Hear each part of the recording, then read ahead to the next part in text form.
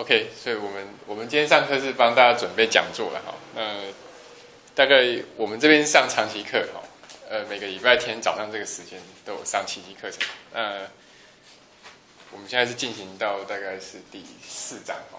那下一周我们是读正文的四至二到四至四。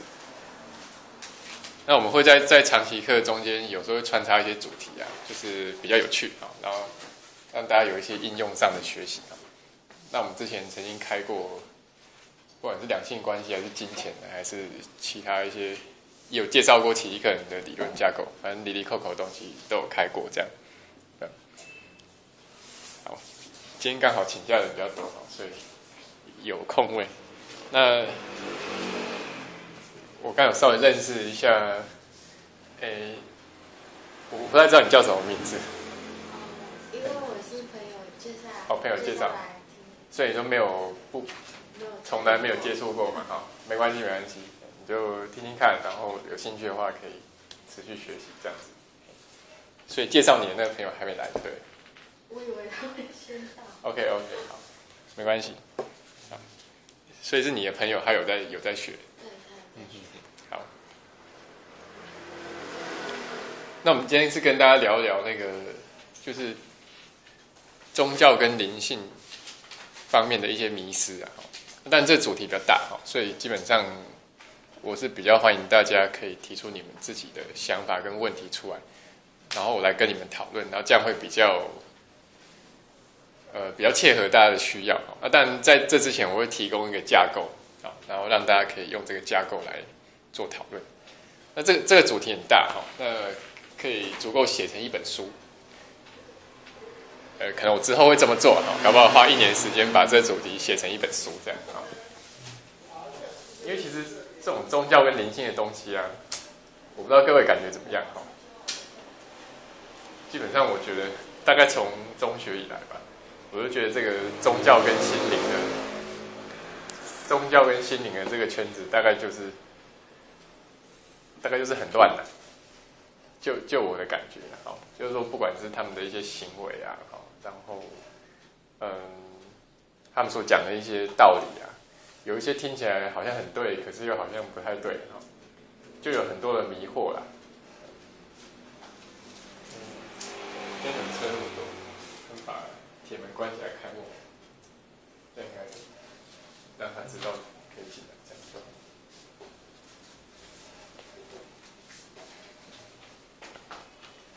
好，那呃，因为我们今天的部分当然也是，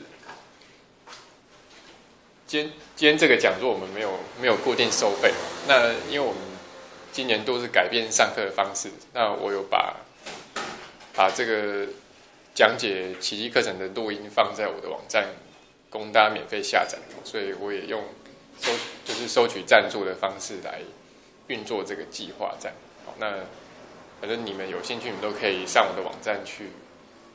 找到那个课文讲解的录音，这样好，所以今天这个讲座的话，也是算为这个教学计划来挣一点钱，这样好。好，这是我们开这个讲座的一个目的。好，那嗯，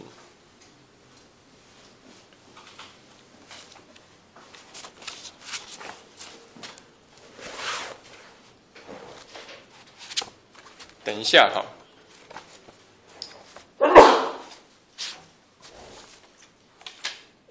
我的小抄好像不见了，不过没关系，我已经前面讲了好几次，所以但 没有什么问题。好，等一下哈，我我跟大家讲讲故事，然后我们就从这个故事开始，然后大家可以参与讨论，好，你有任何问题都可以都可以那个举手。好，那我们就来跟大家聊聊关于宗教跟灵性学习。这一个很复杂的一个领域哈。呃，首先我我我用的两个故事是来自这本书哈，这本书叫《超自然心理学》哈。那这个作者是叫做 Richard Wiseman，他是英国的一个教授，不过他教的不是普通心理学，是叫超心理学。哦，这个叫 Parapsychology，这个科系在台湾没有了，但是在英国或澳洲这样的国家他们有。那超心理学就是研究一些像是灵媒啊、算命啊、哈、呃通诶什么地第第六感呐、然后这个呃轮回啊，好，然后什么濒死经验呐、等等这些，好，就是传统上我们不觉得是正当的心理学的研究领域的那一些叫做超心理学，好啊，然后呢，但是他们也一样是用科学的方式去做研究，那当然也揭穿了蛮多事情，就是说有很多事情其实怎么讲，并没有看起来那么灵异了哈。那这个是这本书，那这本书我是是我几年前在高雄当兵的时候，在一间很小的书店买到的。哦，那等下可以给大家传阅，它非常的有趣啊、就是不太像是一个大学教授写的，因为你们知道大学教授通常上课也很无聊，然后写书也非常无聊，这样。对那它里面有教你如何算命呐、哦，如何出体呀、然后如何催眠一只鸡呀、总之，反正他讲了很多很有趣的东西啊、哦，在里面。嘿你们等下可以翻一翻。那那你们台大那个李思成教授，我没有上过他的课，他有一本书，他有好几本啊，我知道。都是跟这还有特异功能对对对特异功能有关可不过特异功能都还可以。对对对，他就是写一些这些的啦，对。不过你现你现在学期可能学了一年多，再回去看那样的书，我相信你应该会有不同的一些感觉跟对，会蛮不一样的。这个等一下或许我们也可以聊一聊了哈，就是说这个通灵能力啊，对，在在那个奇迹课程的教师指南里面有一章叫做“通灵能力是否值得追求”，这标题够清楚了吧？对吧？好，所以如果你你有兴趣的话，可以可以去翻翻看，在教师指南里面哈，可能是二十四附近还是二十三，我忘记了。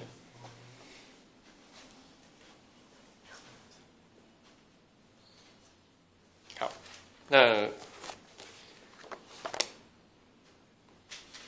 第一个故事是讲到那个在美国近代历史上面最大的一桩宗教集体自杀的事件。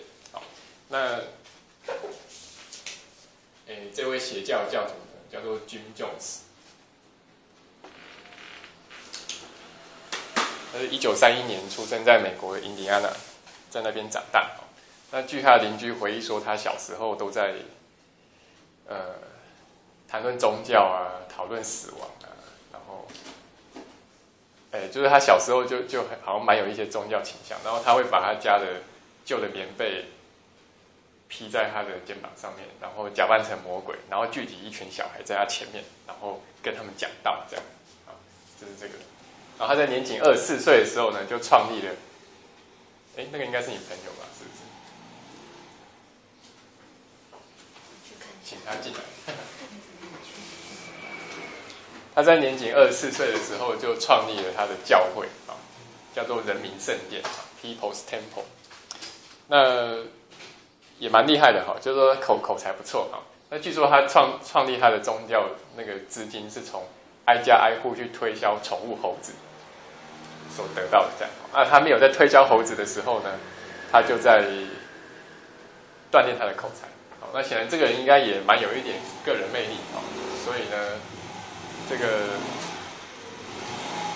后来就聚集了一帮一帮人嘛，好，那跟他跟他一起哈，呃，在美国，那其实他们原本这个人民圣殿哦，它的一个它的一个宗旨呢，还还算是蛮听起来蛮健康的哈、就是说这个那时候是美国在一九五零年代的时候，所以他就是呼吁说这个种族平等啊，种族平等，然后去帮助穷人呐、哦，这个提供给穷人工作跟食物啊，哦就是他的理念那时候是这样，听起来是非常 OK 的。好，不过后来他的组织越来越大，哦然后也也有有座位就可以坐。感觉好像也引发了一些那种宗教狂热的现象哦，而且这个这个这个教主本身呢，他有毒瘾，而且也有被迫害妄想症哦，就是他的精神状况是有一些问题的，对，所以大概后来就被一些美国的记者还有其他人批评，所以他们在美国也从哇东边换到西边，总之换了几个地方之后，他他后来觉得好像有点待不下去了，他就把他的那个整个教会迁居到南美洲的北端，一个叫盖亚纳的地方。那盖亚那在几十年前是我不知道现在怎么样，不过几十年前是很落后地方。那他去承租了一片四千亩的土地，它旁边全部都是森林。那那个地方但也没有什么，也没有也没有水啊，好啊也没有电，也没有，就是说什么都没有的一个地方。好，那那种群聚感染什么的，有时候都不好处理啊。那在那边生活其实是很辛苦的。哦，你要拿个水，要要走路到十公里外的地方。然后这些信徒聚集在一起，他们还要经过冗长的祷告啊，哦，开冗长的会议啊，上冗长的社会主义课程啊，总之哈，就是他们宗他们这个宗教是这样在运作。后来到一九七八年的冬天，哦，美国有一个国会议员叫 Leo Ryan，他就因为听说在盖亚那有一些美国人好像被挟持了，所以他就搭飞机到这个地方去调查。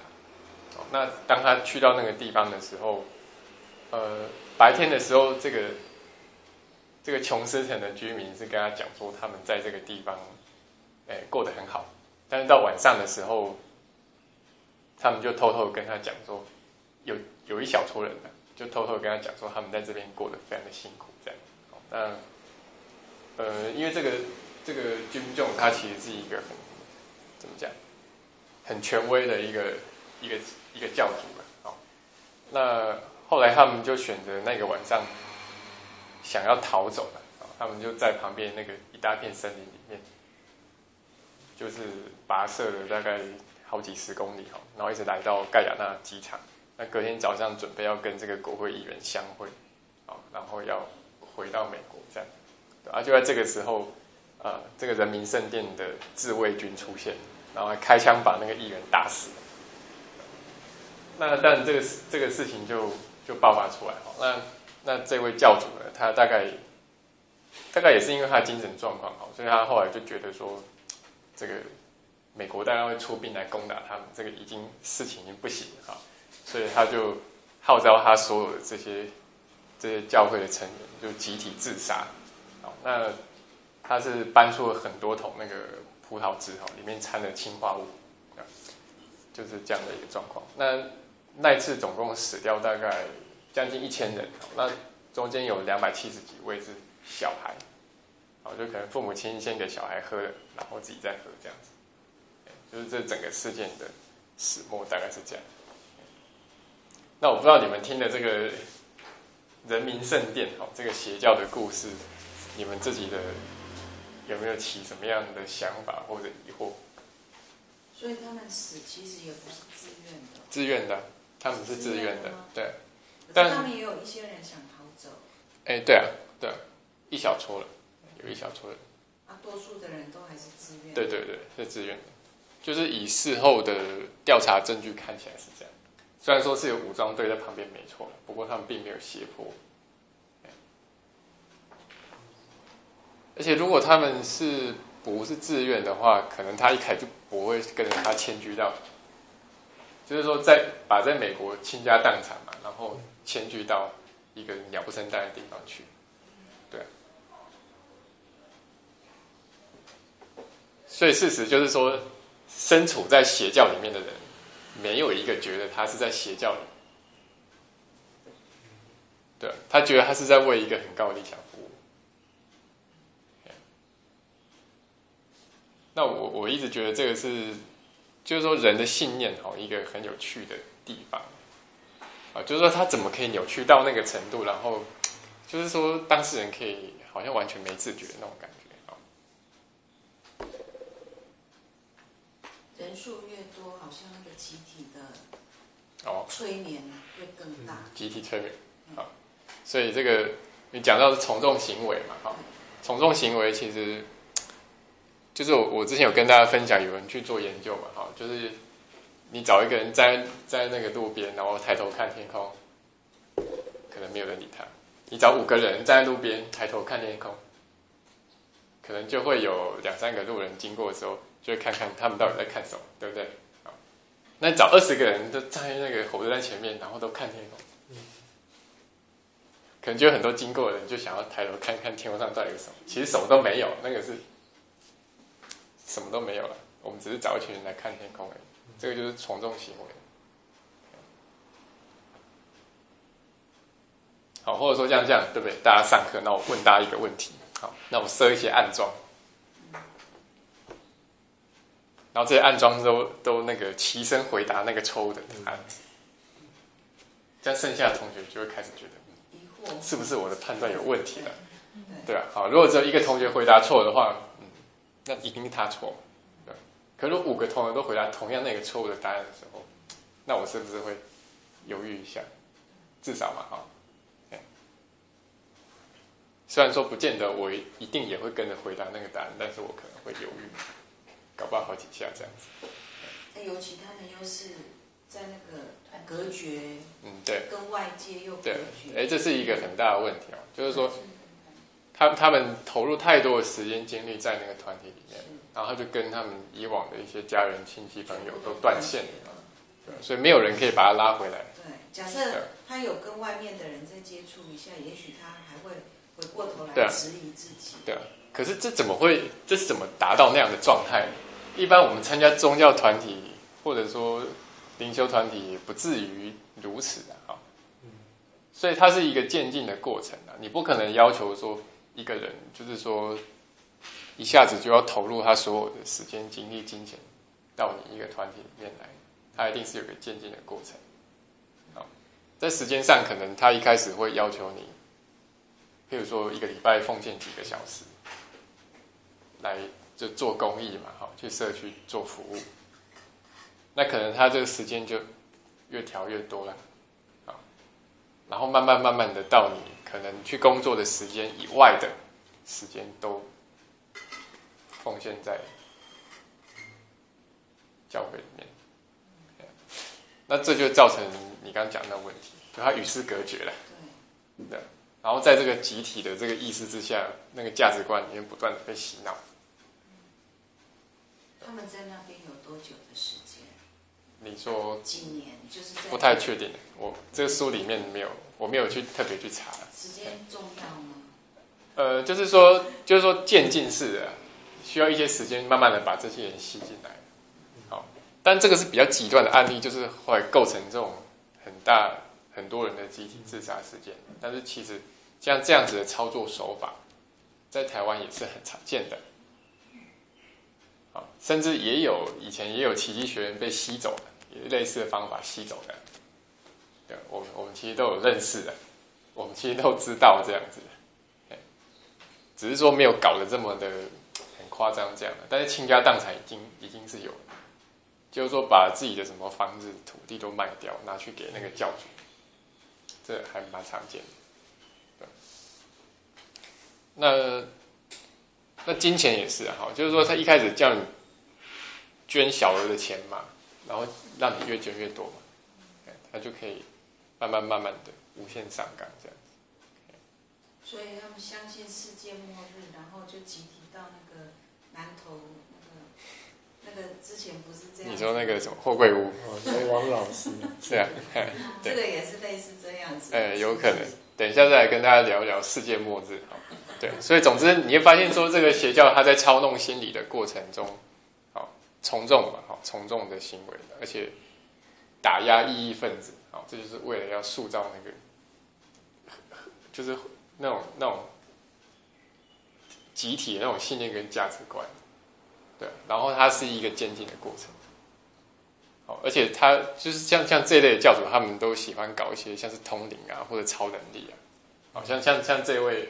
这位就是哈，就他就是他可能会好像类似用超能力把一个瘸腿的人把他医好这样，然后就当众叫他那个走路，好把拐杖丢掉这样，不但就不是真的，因为他只是找他亲信扮演扮演的啦，好对，要不然就是他会把手伸进你嘴巴里面，就掏出一块说是癌细胞，他说他把你治好了，啊，当然那个是。一块臭掉的鸡胗的，只是他先预先藏在袖子里面这样而已。好，那总之就是他去搞一些这种神通能力哈，然后也不要小看这种能力哈。你会发现，其实，在台湾的心理圈哦，那种会通灵的老师也是很容易可以聚集到一群人，好形形成那种权威。那通常下场都是不好的，好，就是就借由通灵去树立权威，然后来搞这些，然后说你这个呃 前辈子又怎么样啊？好，那阴间又什么什么事情要去办的？好，就是通常下场都是不好，通常都是扭曲哈。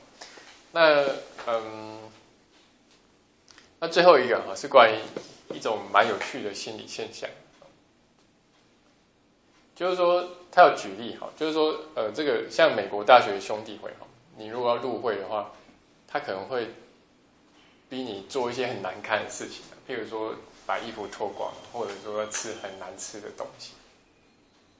好，那像是这个，像我们以前当实习医师哈，也是，就是你要加入这个医师的这个群体，经过实习医师的阶段，很辛苦，要做很辛苦的工作，没什么钱，这样，几乎没有钱。那一般我们会觉得说，你要加入一个团体。哈你用这种很严苛的方式让他加入，是不是很多人被吓跑？但其实最后真的愿意加入的人，他会有很深的一种认同感，因为他牺牲很大，这是他用用很大的牺牲去换来的。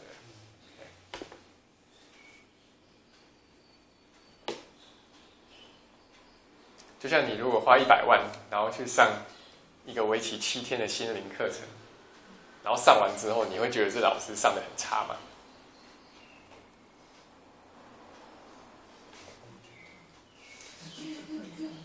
没上过，没上过，对不对？我也没上过，但是可以可以推断的出来，没有人会觉得那老师上的不好，因为如果你觉得那老你说那老师上的怎么这么差，其实是花一万块，我也不可能去参加这种课程。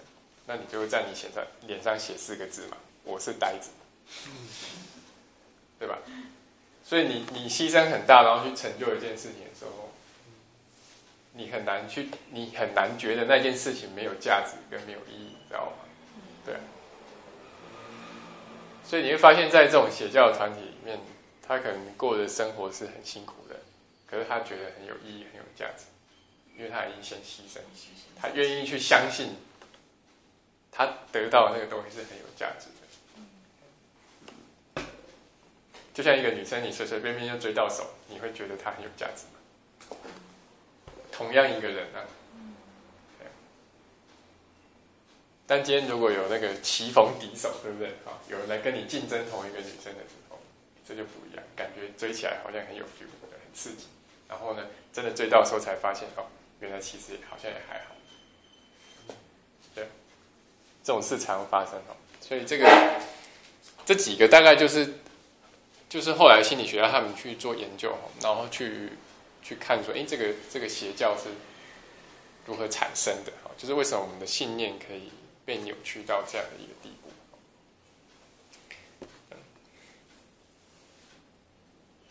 不晓得这个故事大家有没有还想要进一步探讨？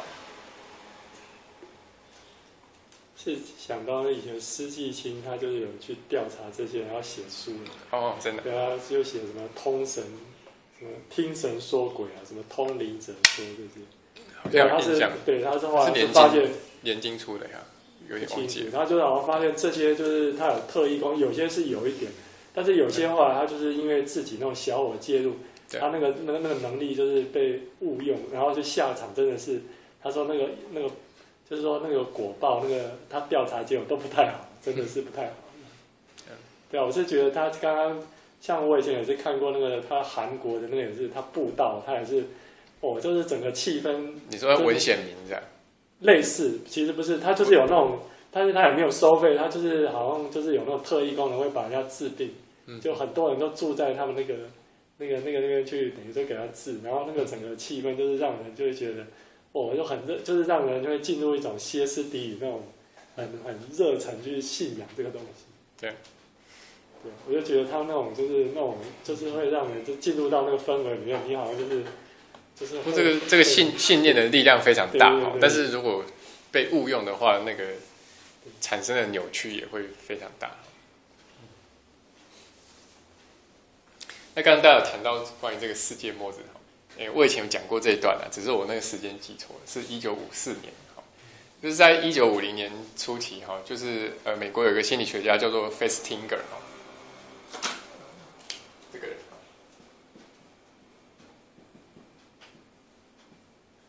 然后他在报纸上面看到说，呃，在美国有一个类似邪教的团体哈，然后他们声称呢，这个世界末日快要来了。好，那这个教主叫 Marion Kitch，好，他是宣称他会通灵，然后跟外星人有接触。好，他说这个一九五四年的十二月二十一号那一天会发生大洪水，可是这个外星人会派飞碟来拯救他们。好，那一天是世界末日，有没有听起来有点？因为几年前才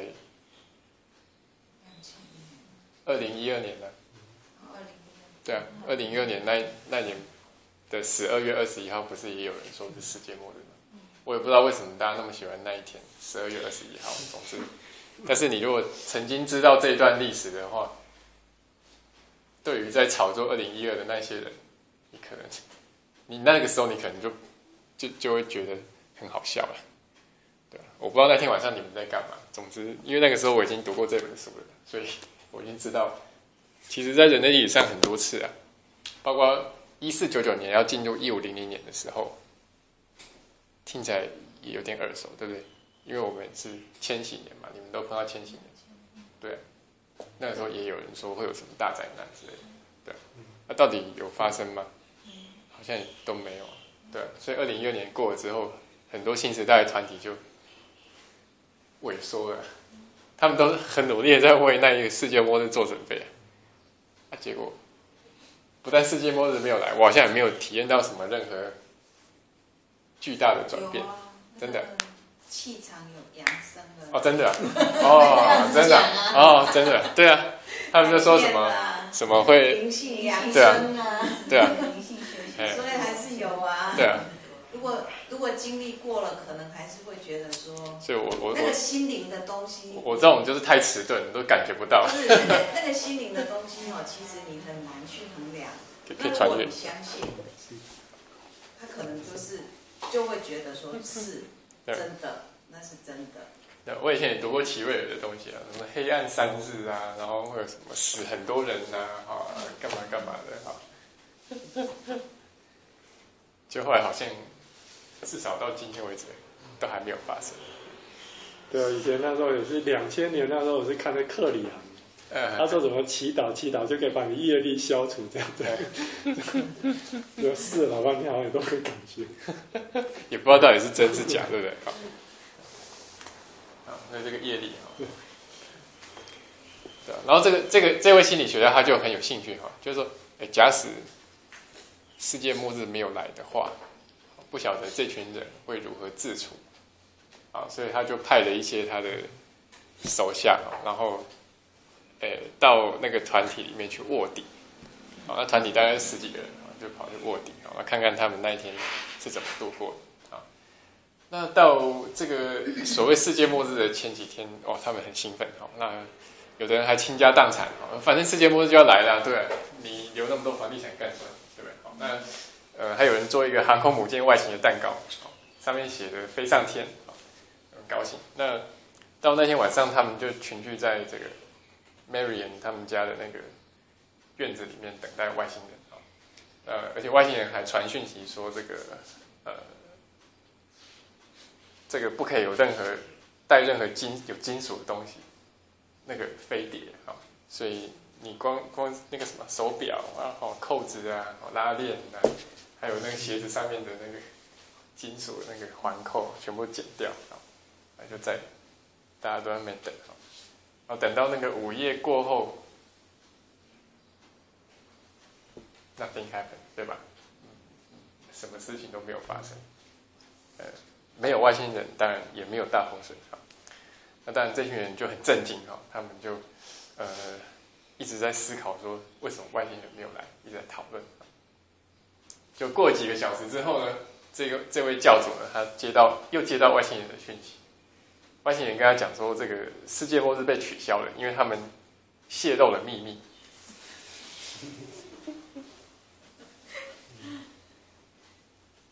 所以这样你知道是什么意思吧？好，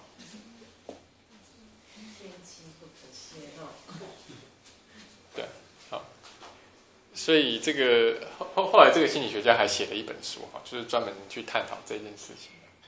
就是说当他们预期说要来世界末日，然后他们都做好万全准备，可是没有来的时候，他们选择的并不是去去接受说他们的信念是错的，就他们拒绝去接受他们原本的信念是错的。他们宁愿用一种自我欺骗的方式去说服自己说，是外面的问题，不是他们的问题，这样，对吧？而且很有趣的事情是在在这个一九就到到隔年之后，他他们发现那个团体不但没有解散，而且他们还很积极的到那个媒体啊、报纸上面去宣扬他们的理念。为什么呢？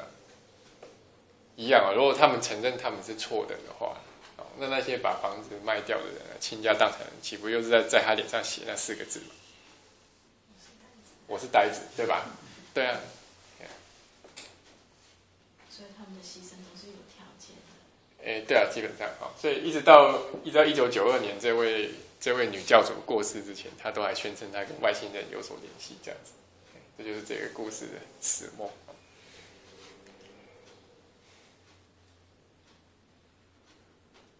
对，好，所以你看在，在这种宗教联系的圈子，哈，那什么事情都有，哈，然后，呃，可以到匪夷所思的地步。不过我，我我想，我们跟大家聊这些东西，主要并不是要批评他们，哦，而是说你可以从他们的这个过程跟行为中，得到一些借鉴。对，因为邪教，邪教到处都有啊，台湾也有啊，很常见啊，对，而且你被吸进去，你自己没感觉，很多时候是这样子，因为我们自己看不清楚。你不其实不太晓得发生什么事情啊，然后你就很投入的进去，然后里面又觉得说，哇，跟很多人志同道合，非常好。所以你能够去了解他这个过程，其实很多，就是说很很多这种陷阱你就不会掉进去了。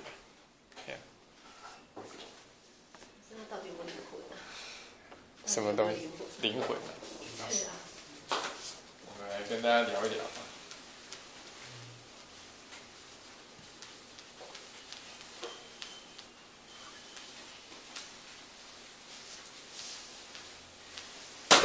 看你讲的灵魂是什么因为因为为这个好像又跟因为这个词很七夕课程说这个世界是这个词很复杂，对不是真的，一样的令人费解啊。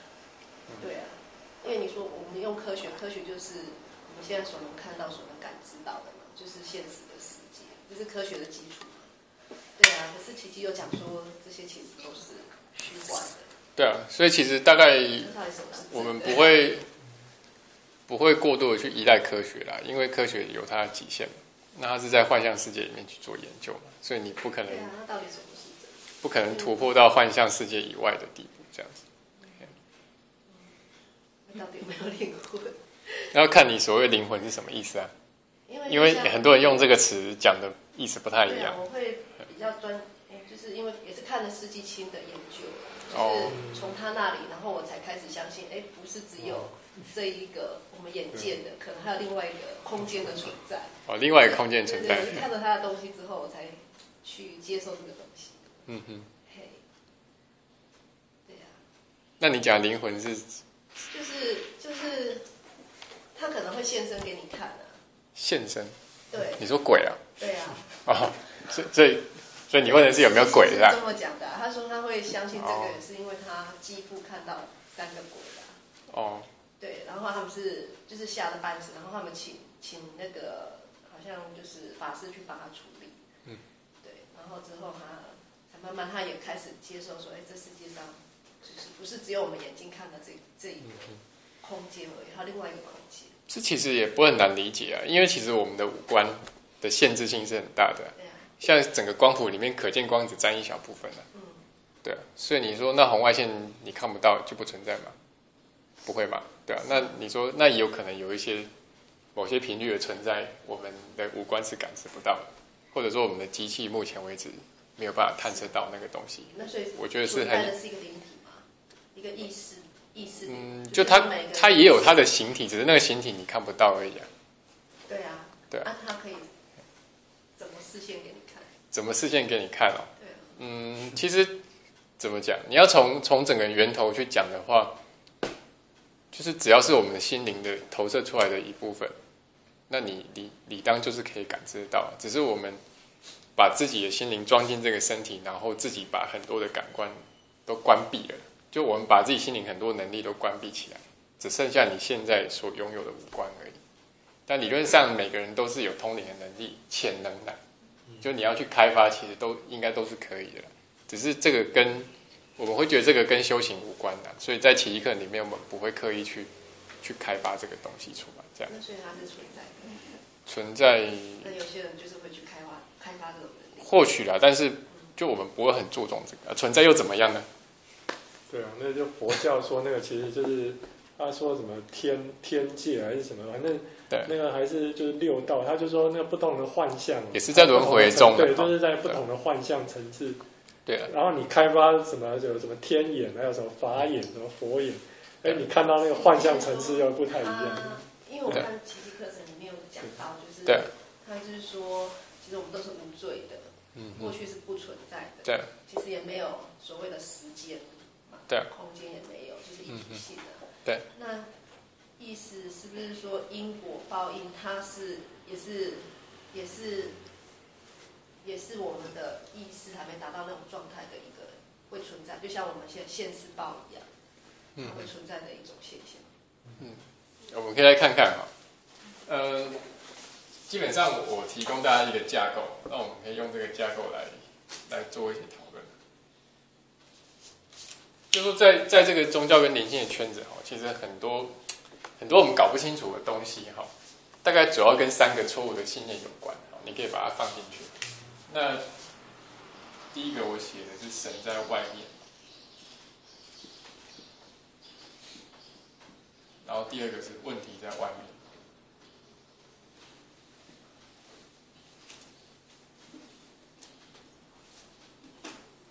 然后第三个是救赎在外面。救赎其实广义来理解就是解决问题的方法。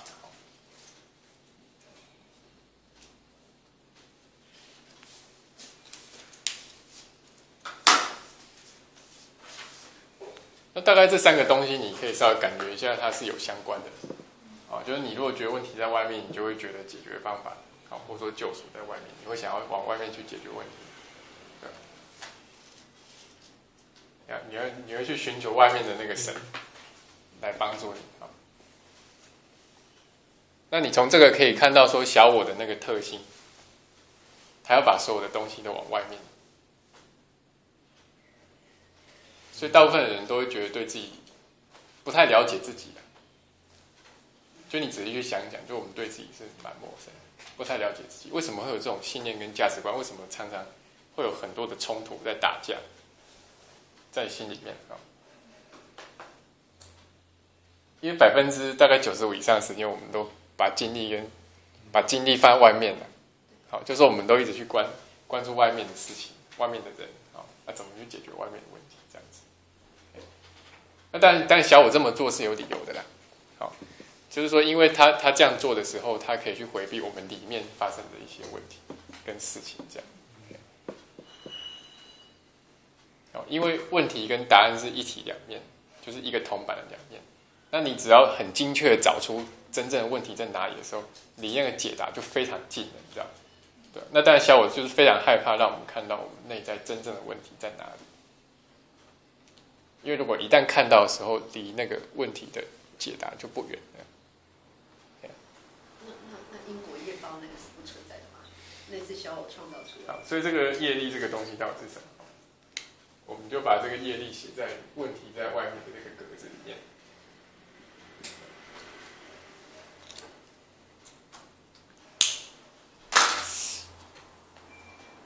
第一个里面有没有谈到因果业报？其实他根本没谈到，因为那是翻译错误。他他翻成报应的都应该要翻成报复。是，好，英文的 revenge 或 vengeance 报复了。他在新版全部都翻错了。反而旧版是对的。那因为奇迹课程你真的去看它原文哈，它没有任何佛教的东西啊。那原本传奇课那几位，他们也都跟佛教几乎没有任何渊源，几乎不懂。可是以我们的理解，就是有因就有果啊，佛教也是讲因果啊。所以在奇迹课讲的因跟果，跟那个佛教讲业力是完全不同的概念，这样。但是你如果奇迹课程学得通的话，你会知道他会怎么样去看待业力这件事情。然后意思是说，你本来就是无罪的，你认为你有罪，只是为了这是小我的。嗯嗯嗯。对呀，他其实本来就没有这个东西。嘿，所以呢？所以因果业报不存在嘛？那很多的概念都会要被打破了。哦，对啊。所以《奇异课》的确是一部很颠覆的书啊。对啊，因为因为就是比如说我们信神也是里面就是有因果业报。因果业对广义来说啦，啊，就是做坏事的人就下地狱，对不对？啊。对啊，龙佛也是。对。对啊，啊啊，或者是说有一些领域，比如说我们去拜妈祖，然后妈祖他怎么去解决你的你的问题啊？嗯嗯。对啊，你的你的你的可能你做了什么亏心事，然后你怎么？透过他，他怎么帮你去化神？怎么去帮你化解这些事情？对。然后那个好像也也是很合理的，就是说他的逻辑整个你好像也觉得很有道理啊，是这样啊。也就是因为做了坏事，所以你这一次你不知道为什么，然后你你生病了或怎么样，然后你透过神明还是要一些。不过我小时候就想一个问题哦，嗯，就是说。就是朝四暮三跟朝三暮四的问题啊，啊，就是就是那种中国团体都是劝你要这个捐献啊，要奉献啊，然后说这样来世才会有好报嘛，那就是你这一次牺牲一些嘛，啊，来世过得好一点嘛。那我为什么一定要现在牺牲？我也想要我现在过好一点，啊，我来世过穷一点，可以吧？所以你是朝四暮三，还是你是朝三暮四，加起来都是一样的。那我为什么一定要听你的话？就是做这么多好事，然后捐献奉献这么多。可能因为这一次觉得不够好，希望下次更好。啊，你就把这次变得更差了。啊。这样你知道我意思吗？因为这一次我已经不满意了，所以我做一点奉献，下一次也许会更好。对呀，对呀。希望下一次有更好的投胎呀。啊，这个这就是。对，这是储蓄的概念嘛？你现在存多一点，那以后就用多，可以有更多钱可以用嘛？那你现在用掉更多钱，以后就用少一点。如果你这一次真的做坏事，我们我们相信就是一定会有因果业报，不然不然就没有天理了。对对啊，对啊，对，是好像我们相信的一个。所以耶稣耶稣讲的话真的是没有天理啊！即使在圣经里面都讲，对啊，他说不管你做什么都是。他说雨降给。义人跟不义的人嘛，意思就是说，上帝给的恩泽是在，对一样的，所有的人都是一样的，对，就没有天理的，对，是完全颠覆了。那显然现在基督徒完全没有听懂耶稣讲的话，对，要不然他们不会这么努力的去讨论义正言辞的去讨论那些道德争议的问题，不用讨论了，因为所有的就是爱是无条件的嘛，那个雨是无条件的降在这些人身上的。所以这难怪教会的讯息是很多冲突的，因为完全平等的，因为他看的是你的本质，不是你曾经做过什么或说过什么，因为那个是对啊，没错，没错。哦，所以这这个会更让你看见说，这种这种这种道德评价，其实道德评价其实是一个虚幻的东西。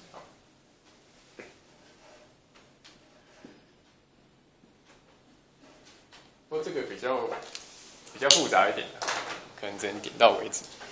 那所以就这个业力，但怡君讲的并没有错哈，就是说，就业力这个课题来说，我们会觉得那个也是幻象中的一部分。我们其实不会很不会很很 care 这个东西。而且其实你你去把因果业报这个东西看得很重，把它当真的时候，最重要的是说，你其实否定了你当下就可以平安的权利。因为你认为你过去做做了不好的事情嘛，所以我现在此刻才需要去承受那些痛苦嘛。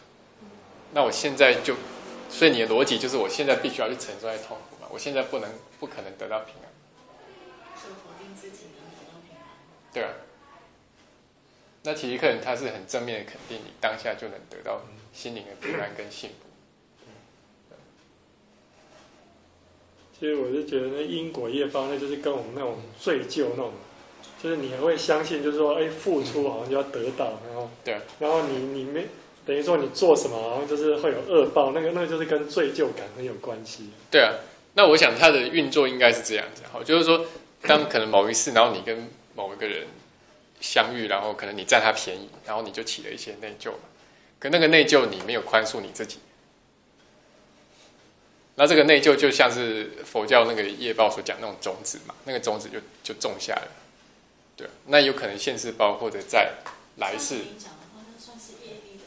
就是说可能有这个现象，嗯，但是你不必被这个现象制约，对，就是幻象中有这个现象，可是你可以不不必被幻象制约。那我讲的这个现象是说，因为你都没有，你一直没有去宽恕那个内疚，所以那个种子你可能就种下啦，就一直带着嘛。那当然有可能，他带到来世，就是说，或许到来世，你又跟这个人在另外一个场域相遇了，对。然后那个隐隐性的那个内疚，你没有觉察到，但是他可能会开花结果，就变成那个业报出来，所以有可能到来世，你变成你被他占便宜，哎，就是说想要报答他报恩这样。哎，对了，但是他其实是有有一定有内疚出来的啦，对。对啊，但你被他占便宜之后，你又觉得不爽嘛？啊，你也没有宽恕，对吧？对，所以可能到下辈子可能又角色又调过来，好，对啊，就是这样子。我们就是有时候当受害者，有时候当加害者，有时候当拯救者，有时候当什么，反正总之就是会可能会来来去去这样子。但其实那个那个内那个罪疚是不变的，那个元素是不变。我这样讲起来是因果吗？现象就现象上。报应的现象，对，但这个现象是有出路的。对啊，所以佛陀他是说因缘就缘起性空，他他不是直接讲因果，他是说那个那个果要有很多元素叫缘因缘，对，然后但是缘起又是性空，这个是。后来就佛教争来争去，就是说到底那个什么因果，这个到底是怎么回事？到底对啊，对啊，到底是有没有是原来那个因变成这个果吗？但是你看，你看在《阿含经》里面，佛陀他最开始强调的并不是业报的故事，你知道吗？他讲的因果不是在强调业报，对吧？他是在强调缘起，对对然后缘起是为了讲性空，所以你看这个 到现在的佛教，我们的那个理解已经完全偏去掉了。所以其实意思就是说，假设我在这个因跟果之间，哦，我付出，我期待得到你给我回报，但是你如果没有给我回报，我可能会起定你的罪，或者是怎么样？对。那假设我可以超越这一些，超越那个罪的信念，对我宽恕了，我今天起心的动念之后，我的心就可以平安了，当下就可以平安。那平安了之后，就跳脱因果，本来。纠缠的那个那个东西就可以化掉，对对对，就是真正跳脱因果了。对，所以现象或许是有了，但是你在那个现象中一直去做文章，其实没有什么用。包括你透过催眠去看到过去生的发生的事情，会不会疗愈？如果你没有当下放下知道，如果你没有释放，也不会疗愈嘛，因为你可能看到过去生跟你现在的。兄弟姐妹，哦，可能以前他欺负过，对吧？但是你不想要放下这个，你不想要宽恕他嘛？那也没有用啊。你只是看到以前发生的事情。是宽恕他，还是宽恕自己？一样啊，都一样。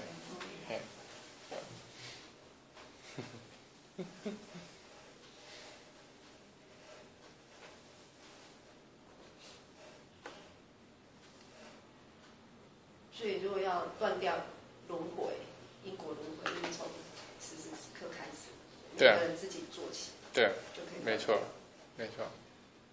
那很难 大家有吗？但是哦，我觉得他会比较平安。对。就但那个是那个是远程目标啦。对。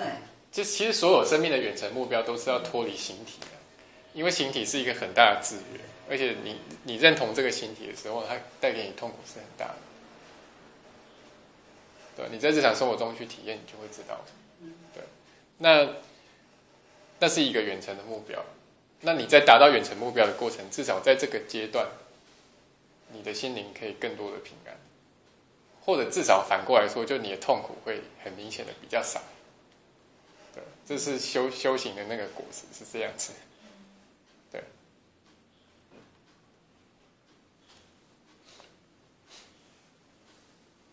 对，那另外一个比较让人匪夷所思的，大家谈到就关于道德戒律，尤其是戒律这个东西，因为不同宗教里面的戒律都不同啊，对吧？嗯。那到底谁讲的对呢？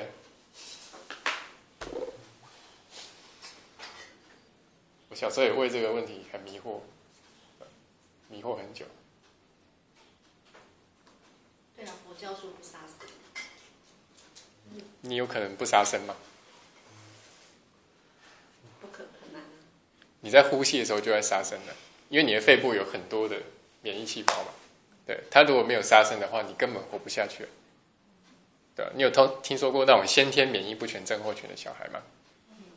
艾滋病那个叫后天免疫不全嘛，就是说后天就是你你得来的嘛。因为感染这个病，那属于先天就是出生就有了。那那种小孩要住在气泡屋里面那气泡屋里面是没有细菌的，因为他只要感染一个流感，他就会死掉。就我们内在就在发生这个事情。对啊，你的肠肠子的附近的免疫细胞还多得多哎，非常非常的多。对啊，因为在我们身体里面，就是那些细菌啊哈，那细菌的数量还比我们全身的细胞加起来还多。可以相信吗？就是你肠子里面的细菌呢，哦，就它的数量会比你全身的细胞加起来还多。那为了要预防这些细菌入侵到我们的身体啊、血液里面去，所以我们的尤其是大大肠跟小肠的附近是有很多很多的免疫细胞，就是全部都围围在那个地方。对，我们的身体是这样在运作。那我们的身体就是一个小我的。没错啊，其实身体的这个整个结构。就非常好的反映出小我的特质了，对吧？比如说小我都会把那些所有脏的东西都把它掩藏在潜意识，不要去看。就像我们把脏的东西放在肚子里面，我们在外面皮肤呈现给人的是好看的嘛？对啊，这就是一种掩饰啊。那那小我它的它的核心就是那个匮乏感嘛？那匮乏感在我们的身体里面就是食欲啊。而且它是永远填不满的，就是说你吃了东西之后饱了一阵子，然后又肚子饿，然后再吃东西再饱一阵子，肚子饿啊，就它完全是填不满的。其实它身体这个这个整个身体，它就是一个小我的一个复形、具体化的东西出来，这样，你可以你会在他身上看到很多跟小我有关的特质，那那杀生不就是小我的特质？没有错啊，就你一定是你你活在这个小我的世，你要活在小我的世界，你一定是靠杀生活下去的。那那难道你吃东西，你吃植物就不？他们会有这样的戒律。对啊，所以这个这个戒律是很荒谬的，对吧？他原来好像是说要培养那个慈悲心，对啊，但是就是等于说，其实就是类似耶稣说我们要宽恕，你来到那爱的源头，就是你要接近那个，你要有那个类似那个，你才能去了解那个。所以它是变成要去想要了解，等于说要去了解那内涵，但是我们就落到形式那种，对，那种等于说你要模拟去形式那个执着，对，上面去，戒律很多都是变成这样，嗯，他本来是想要模拟那种内涵的东西，去给你体会那个实相味道，对，像静坐也是这样，就是要平安那种特质，那种味道，对。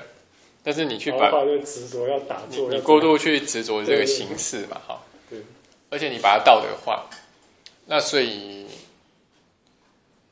很多佛教徒他可能觉得，就说别人吃荤，他就会觉得，会有批判，好，那这个批判反而把他的心灵给绑住了，让他不得清净。人是不是也不太适合完全都吃素？我觉得这是个人状况，哎，对，我觉得这是个人状况。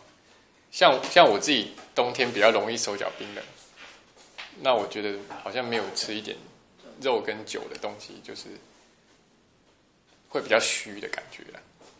但是我觉得这个是个人的个人的情况各个不同，因为每个人本来就是不同的，所以现在才有所谓个人化医疗就是这样子。因为没有，你也可以说没有一种药物可以适合所有的人啊。这这个药有人吃有效，有人吃没效啊。那你一个治疗师，有的人去找他把它弄好了，啊，有的人去找他，他反而把它弄出医疗伤害。你怎么讲？因为每个人的状况是不一样的。其实像南传，他们很多也都没有吃素。哎，对啊，那是因为台，对啊，他们很多来台湾传法，传那个在四念处，他们有些师傅，他们也是要吃肉。他有时候还叫信徒去买，然后信徒都觉得很奇怪。呃，对啊，然后觉得他们没有吃素啊。对，他就觉得，哎，后来他们才知道，对。像那个洞中禅那个龙婆通啊，对啊，他们都没有吃。对啊，我不知道阿姜茶怎么样，但是总之他们有有的其实拖波，就是拖到肉就吃肉。藏传好像也没有嘛。因因因为那个环境根本没办法吃素啊，对吧？没有菜，他他那个 对啊，根本没有菜可以吃，你要吃什么？对 啊。是在杀动物的过程，就觉得很可怕的一个过程哦，杀生的过程。杀植物就不会觉得可怕，对不对？对，因为它会硬生生好啊，就杀不下去。那所以如果说我想吃。我我不想杀生，因为我觉得杀生是一件很残忍的事情。那个其实也是无关戒律，那个应该只是说我的心灵的一个。那其实是我们内在恐惧的一个投射。那其实最后回过头来是我自己的恐惧。对，就是说你你看那个动物，觉得它很可怜，然后你觉得它很悲哀，其实是你觉得自己很可怜的那个想法投射出来的。所以最后跟我们想的都差很多。那其实这种道德戒律的东西啊，我们并不是片面的觉得应该要把所有的戒律都取消了，而是说这其实是一个权宜性的、权宜性的一个设置。因为你一群人在一个团体里面要能够协作，一定要有起码的一些游戏规则。那我们奇迹团体大概几乎不成一个团体，意思就是我们奇迹团就是学奇迹课的人，大概是最自由的。就没有没有人规定说你要来还是要走还是怎么样？那嗯，可是我们我们这个在上课这个群体在运作上面也是会有一定的规范的，至少我会规定几点到几点上课吧，这就是一个规范。那但是规范这个东西，游戏规则这东西，你把它道德化，把它当真之后，问题马上就来了，因为它就会开始僵化。变得不弹性，然后有有人如果没有办法达到那个道德标准，或者说你自己无法达到道德标准的时候，那个小我的定罪就出现。所以你如果把你如果把这些道德啊、戒律啊、法律啊，只是看成是一个权宜性的规范，然后不合时宜的就可以把它拿掉，或者可以做一些弹性的运用的时候，你的心灵其实就会就会很开放了。那你不是用定罪方式去看那些没有办法达到规则的人？是可以说整个奇迹呃课程要学的就是不定罪的。对啊，没错。所以你会在奇迹课在奇迹课里面，你看不到任何一条道德规范，完全没有，也没有任何戒律。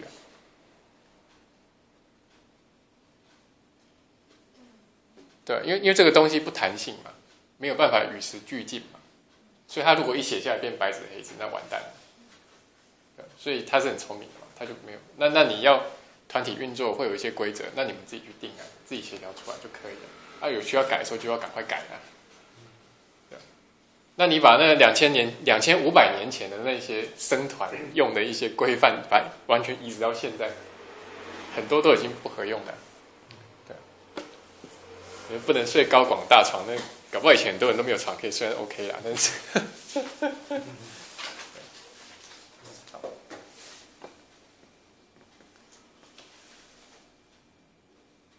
对，所以很多人会觉得，这种修行人好像常常觉得他们也过得蛮痛苦的，而且心灵不自由。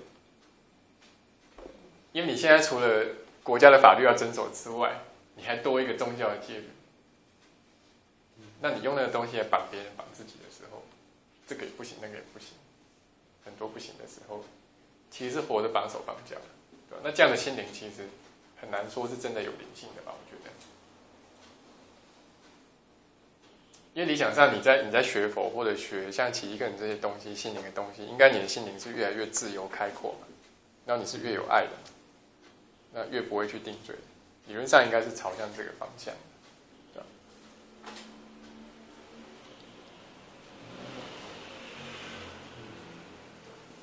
所以这这个道德戒律其实是很大的问题，是非常大的一个问题。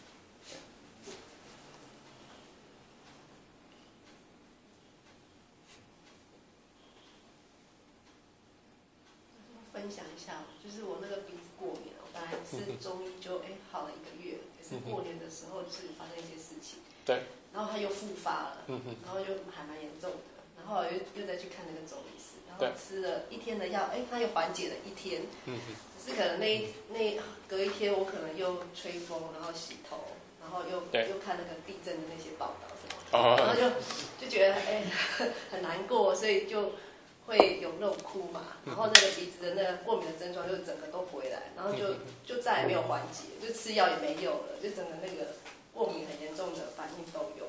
后来我有一个觉察是，哎，当我因为我其实很习惯定自己的罪，我会去。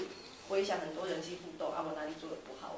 我呃，就是对包括你之前分享说给病人治疗，就觉得哇，好像都没什么用这样子。哎，对对对对对，我就很容易定自己的罪。可是后来发现，哎，其实我只要去定自己的罪，它就发作，哎，那个是有相关的。对。可是后来我有那个觉察之后，我我就宽恕我自己，我不定罪了，因为，他就马上马上当下他就缓解了。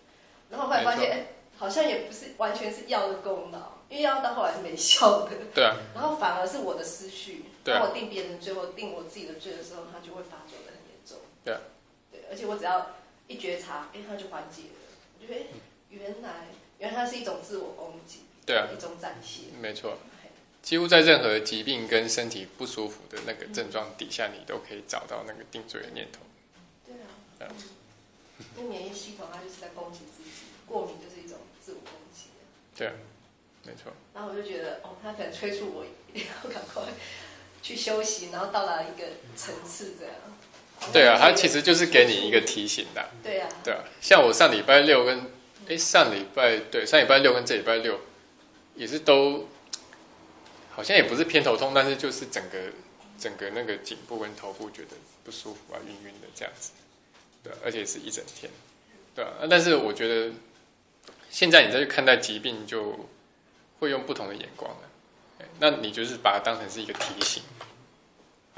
我只是觉得说啊，我我最近的心灵散逸到外面去，好，所以我要再把它收回来。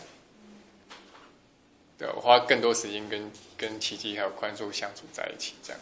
对啊，就逼得你不得不这么做，你要不这么做，他就会有那个反应。对，但是后后来你也不会把它看成是一种逼呀，不会看成是一种逼。逼啊，就是好像要逼你去修行的，对啊，你只是把它看成是一个提醒，他只是给你一个提醒，对，这样而已。然后他提醒我说，我现在已经跟这个身体又认同在一起了，我已经把这个世界又当真的，然后我又开始定罪，活在那个评判里面了，对我看到是在给我这些提醒，那我会试着花更多时间去跟圣灵连接，去交托。这样子，那你你那个愿心起的够深的时候，会有一个疗愈能量起来。通常那个身体不舒服的症状，会有很明显得到缓解。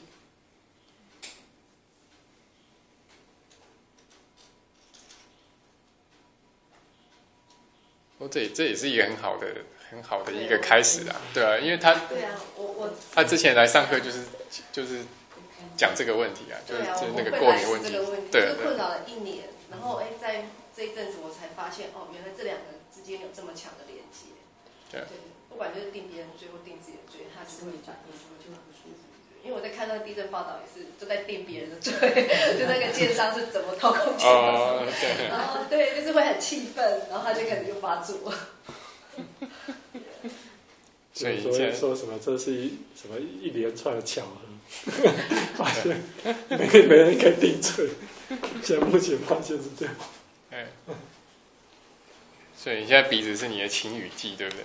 对，我只要思考偏的或没有觉察，它就就会发作。温柔的提醒。嗯，给你一个提醒哈。好，哎，我们我们休息十分钟，大家可以起来动一动，吃点东西。好，等一下再接着学习。好，所以我们接着来跟大家聊聊哈。呃，这个刚大家下课的时候有谈到那个通灵嘛，哈。嗯，其实现在现在这个 Google 有云端嘛，哈，所以要讲这通灵就蛮容易的。在新时代里面有一个蛮有趣的东西，有人把它叫做阿卡西图书馆，不晓得你们听过？其实阿卡西图书馆，我觉得简单的讲，它里面的东西就是整个宇宙跟平行宇宙的剧本。宇宙的剧本，平行宇宙是什么？平行宇宙就是不同的可能性。哦，就是说可能在这个平行宇宙，我是一个医师，在另外一个地方，我可能不是医师。就是说不同的可能性，不见得同时发生的。就是说它是不同的时空，然后有不同的可能性。就是说你你可能过一辈子，你可以有很多种的可能性。那这些可能性都以资料的形式储存在这个。他们把它叫做图书馆的地方，这样，那你就可以想象它就是一个云端了。云端就是所有的人都可以上去提取资料嘛。哦，你的意思是说我这一辈子其实还有很多套剧本，只是我选择了这一套，对，现在选这一套，对啊，我有很多啊，我也可以看到别人的剧本的。哦，如果我有这个能力，可以去提取那一部分资料的话，啊，所以 所以这个台这个这个图书馆是开放的嘛？所有的人都可以进去查资料嘛，那就看你谁比较会查，好看谁比较会找嘛。那有些人他可能有天赋异禀的能力，他可以去找到一些资料，这些东西都全部潜藏在我们的潜意识里面。对啊，有些人他有一些特别能力可以去提取，就是从自己的潜意识去提取。对啊，因为我们的心灵其实是相连相通的，啊，里面其实是隐藏的所有这些资讯的。讲资讯，对啊，讲讯息，大家就比较知道。就有点类似就是如果说他他的功力好的话，好，就是算命的功力好，或者他的通灵的功力好的时候，他可以去看到，譬如说你的前世啊，或者说可能你的朋友发生什么事情啊，或者你过去发生什么事情，理论上是可能的啦。只是说大部分的都功力没有那么好，只是吹嘘出来的而已啊。所以很多东西都算起来不太准。对了，对啊，啊啊，很多都不太准。就事后你真的去去对比看看，其几乎都不太准。啊，不太准的原因是不是也有一部分？其实因为我们刚不是讲到，我可能有很多剧本。嗯。那你现在只看到我这个剧本，那你要挑哪一个？对啊，对啊，没有错，对。所以这个这个小我很有趣哈，他就是这么捉摸不定哈，隐隐藏藏，然后 不给你去那个看到他的真面目哈。这剧本是小我写的吗？哎，对啊。那为什么他要写那么多套？对啊，可是他好像还是会随时一直变化，就是一直在变。因为你固定的就是说可可能性很多啦，所以。你有不同的可能，就是像你讲的变化性。很很大，因为因为心灵是无限的嘛，它的创造能力也是无限，它可以无限的去写出非常多套剧本。小伙他也是想要模拟那种创造能力，对啊，想要创造很多。对。可是你会发现说，这些剧本再多，其实内涵并没有什么不同，因为小我的内涵不外就是分裂啊、定罪啊、攻击啊，然后爱恨情仇啊这些东西。就所有的剧本你去看，所有的连续剧你去看，虽然说总是会有新的文学作品、新的连续剧、新的电影拍出来，可是大概不会出我刚讲那些东西啦。形式上变变，但是内涵是一样的。所以事实上，我我们在学像体育课这种东西的时候，我们不会去很 care 你的剧本是怎么样。到底发生什么事情？你的病到底有没有好？你你可以活几岁？然后你这个考试会被考上？其实我们不会真的很 care 这个东西。对，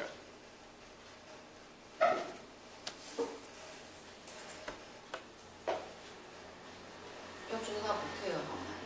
嗯，对啊。每个人就是因为很 care 啊。对啊，我们就是因为很 care 这个剧情，所以才会才会有一些对爱恨情仇出现嘛。没错。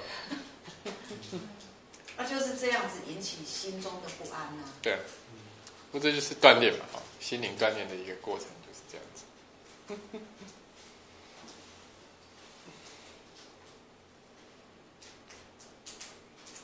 对，那我们如果运用这种通灵能力，想要去解决问题的时候，其实我们也是在外面找答案。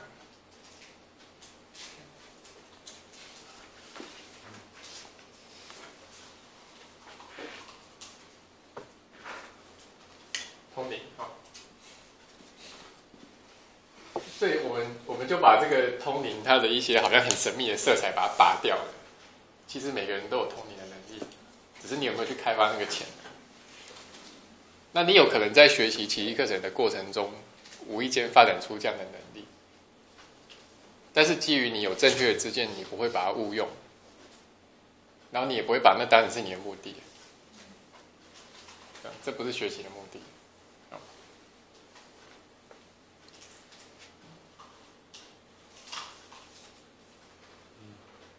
那还有另外一个就是，呃，前几天在台北上课的时候，他们跟我讨论的问题就是附身。好，包括像那种鬼压床之类的事情，啊，对那附身到底是一个什么样现象？你们你们有被附身的经验吗？对那鬼压床。那那那天那个，哎，就有一个学员分享说，他就是碰到有一个人，然后他他就那那个人，他也是好端端大学毕业，然后就就什么又得得这个躁郁症啊，然后又是。就精神状况很奇怪啊，然后他家的人又是可能爸爸又是一个老兵，也没什么钱呐，然后可能他妈妈又失智症啊，然后他弟弟又是忧郁症啊，总之整个家庭是非常的混乱的一个状况，这样。哇，这个人的精神状况也是很混乱，然后就想说这个人怎么会这样？那他们之前还曾经去帮他探讨，哦，还有人用那个什么类似天眼去帮他看啊，就说他是。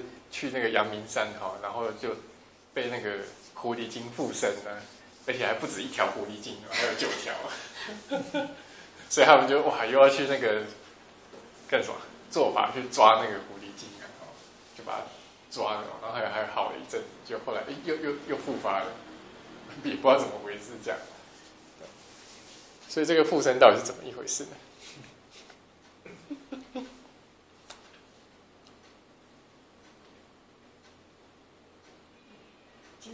都是被附身哦，真的？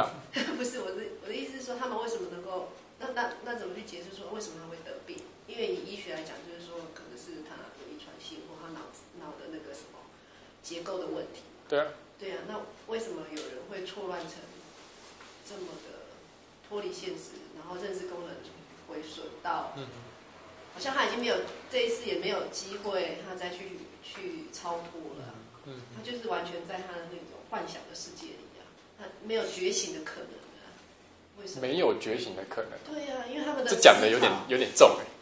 不然为什么他们都被？因为我在医院呢，他们就是被关在里面的。对，我我记我记得宜兰，我在宜兰之前有一个学生，年纪跟我一样大，然后他是呃那种那个叫什么 schizoaffective disorder，好，就是说那个既有那个精神分裂症，啊也有躁郁症。还是两个 combine 在一起。他之前有一阵状况不太好，他有一阵子上我的课也是都在打瞌睡，也不不知所云。呃，最近他突然好了，他说他是读了那个奇迹课程的那个教师指南，然后他沉浸在里面，然后他把自己疗愈起来。那他可能认知功能还没有回损太严重，可是像我们医院关在里面的病人，其实就是慢性的那种。对啊，觉得他好像不太有机会了。那你觉得你跟精神科的病人差在哪里？其实我觉得他只是把那个声音放大，放大，对，我们都有类似的症症状，然后把它放大，对，我们还还有判断，就是什么时候该怎么样，那他们就是毫不掩饰的全部把它拿出来给你看，然后就觉得太离谱，对啊，所以也可以说他帮了你一个忙嘛。对，就是他帮助你我身上有，对他他帮助你去演出你内在有的东西，不敢表现出来的东西。他是盖盖盖起来了，他是打开了，打开了就受不了，你把盖盖盖盖盖起来。可是就会觉得为什么他会这样？到底发生了什么？如果以前只能说这个真的是个人生命的选择了哈，就是你你选择让那些东西浮现出来与否。那他这一世就没有觉醒的可能？不，并不会啊，无法这样讲。就像我看我以前那个学生也觉得，哇，这个要好很困难吧？嗯，但显然，对，然后，我就会想到怎么帮他，还是我也帮不了，算了，对。所以要帮助你自己嘛。所以我说他，我说我们的工作是，所以所以我刚我刚讲的意思是说，他帮你一个忙嘛，我没有叫你去帮他。对呀，那我们的工作在干嘛？就会觉得，所以你帮他不是在那个层次。因为你现在用你以为的对他好的方式去帮他，但也会很想把奇迹的东西用用在工作上。对，但这样会变成一种控制。对，就用不出来，他就会觉得，哎，那那我的工作能干嘛？其实是你要先用在自己身上，然后自然而然你会再能够把那个东西用出来。你要先想，就是因为你看问题在外面有没有？我们先想要先解决外面的问题。但事实上，真正的顺序是我要先解决我的问题，然后类似说你的你的整个能量场跟频率转变了之后，外面的人会跟着你一起转变。很多时候你不用刻意去操弄或者去教他或者告诉他什么，这个转变自然就完成了。那你一直往外面去解决问题的时候，哪怕你觉得那是你的工作。It's your job，但是事实上，你用那样的心态去做那工作的时候，是很辛苦的，对，而且事倍功半，对。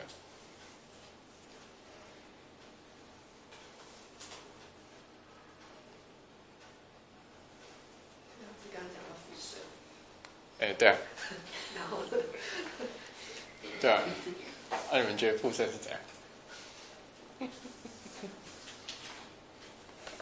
这个其实我是觉得，就是跟你生病一样，你生病会觉得是什么细菌、什么病毒、什么一堆，对，这也是一种附身嘛，对吧？后来跑到你体内怎样？对对啊，就类似这种，现在只是变成心灵上，然后有一个有一个外面什么魂，对对信念，然后他就对，你生病也是被细菌附身嘛？啊现在只是说有一个你觉得是鬼的东西来给你附身，所以刚刚。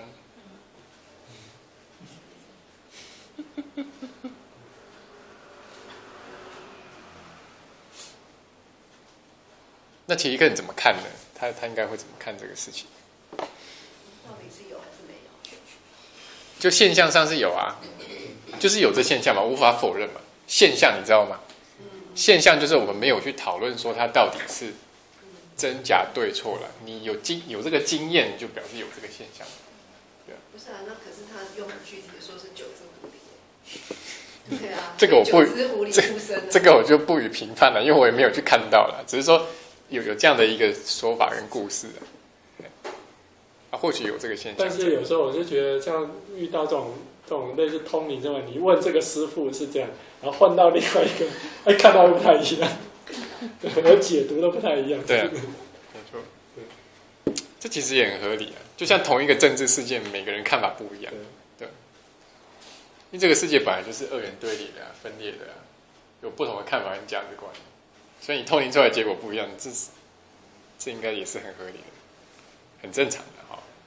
那如果问题是因为有一个灵附在我身上产生的，那当然就是把那个外灵赶走啊，就就处理方式就是这样，对不对？对啊，一般的想法就是这样，所以就会去一些事情。其实或者去转换信念的时候就就转过来，那个那个外面那个灵。自己那个灵，那个灵就是一个信念，一个信念。然后我转到另外一个信念啊，它其实同样是那个最旧的，嗯，最旧的那个信念哈，幻化出来的。那那意思就是说，感冒、细菌感染，你不用看医生；或者是说你被什么其他病菌感染，你不用看医生。假使你假使你转变信念，它就会好，你的确可以不用看。别那如果一些传染病我我一直说，假使你转换信念，它就会好的话，你的的确可以不用看的。啊，当然看医生，虽然虽然说我自己是学医的，可是我其实并不觉得生病一定非得要看医生，或一定非得要很厉害的传染病。那都是你自己的选择，没有一一步一定要的问题啊。哦，那些改变我的信念，那些对啊症状就会消除。没有，我我的意思是说不一定啊，但我意思是说，如假使是这样子的话，你就可以不用去看。就假使你的心灵的力量到那个程度，你可以不用去看，没有错啊。我觉得理论上我们可能可以相信，可是实际上我们还是会受到很多人的自己信念不够强，再加上我们周围的人也一定会在加强，我们很脆弱。对，加强你的恐惧嘛。对，所以你不可能看医生的功。效是什么？看医生的功效是什么？心安啊，看医生没有效，开一些开一些安慰剂给你，他那用抗生素那个并没有实质的效果。实质效果对呀、因为我们很相信他有力量，所以就就是是安慰剂嘛。对，他生素那些都是安慰剂。我觉得应该也不完全是心安吧。比如说，我相信细菌真的是存在，那它就是投射出来，它就是真的了。对啊，那它真的就会演出你的药可以去杀死细菌。对啊，它是指它确实是可以，就是因为那是我们心中都都是信念造成的，没错啦。啊，只是说因为你到底有没有那个实质效果？那是信念赋予。都是信念赋予的，没错。但是因为因为你现在还修炼，还没有到那个你还在还还没有到那个 level，你知道吗？所以你还还是把它当的蛮真的。这个时候你就会没有办法完全的去接受说它只是信念而已。对，因为现在不是有一只对有有一有一个叫欧斯浩饼嘛，然后他就是哎在发展那个抗癌的药物，对啊，然后那个东西应该是疫苗是吧？疫苗对是疫苗对。癌症疫苗嘿，所以那个东西也是一种信念赋予它，不是真的研发出什么。其实你如果练过奇迹课的练习手册，有一课是讲说身体是中性的。哎，不是，我的想法没有一个是中性的。那他他有一些部分是在讲说身体是中性的，意思是说你在身在形体上面看到那个显现出来的力量，其实都是你的思维意念赋予的，但是并不是你头脑的意念赋予的，而是你潜意识的那个那个信念所赋予的。那他们那个药能不能成功是靠什么？因为疫苗靠什么？对，靠小我，给他加持。然后他说我可以治好，其实那个癌症不是也是人自己的细胞变出来，到时候他可能要变另外一套，另外一种。不知道什么其他的病都出来，病毒不是也是这样，对，一直对峙，然后一直变得出来。对。现在说那个兹卡病毒说就很麻烦的，对因为它会一直突变的，对啊，然然后有不然后同的东西出来。叮到，好像感觉也不明显这样子。嗯没有症状，对，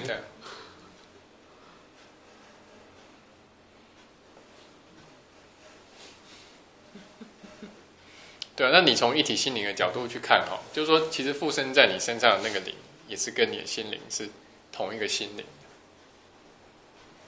而是说我们我我相信的小我那种那一套分裂的思维的时候，你会觉得好像不同的心灵是互不相属。哎，对啊，赛斯他好像有讲这个问题，嗯讲这个什么附身这个问题。真的是怎么讲，我已经不太记得了。实相的本质，里面还有提到这个，我忘了，我不清楚。个人实相的本质。对对，他好像有在提这个。嗯嗯他好像是把它解，有点类似解读那种什么人格啊，什么那种好几个次人举到，对对啊对对，他有举一个对啊，一个年轻人的例子，对啊，所以你要你要把那个那个附身那个灵看成是你的弟兄，这样 次人格。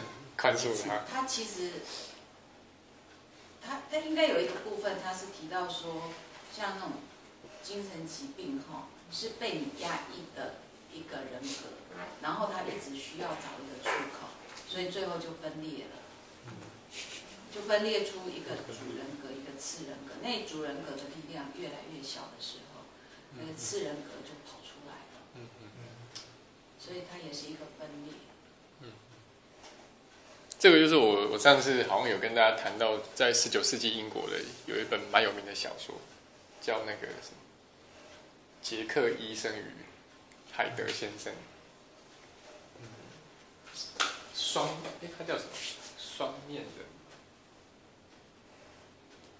我有点忘记他那个中文翻译是什么，可以可以查一下，你如果有网的话。呃，Doctor Jekyll and Mr. Hyde。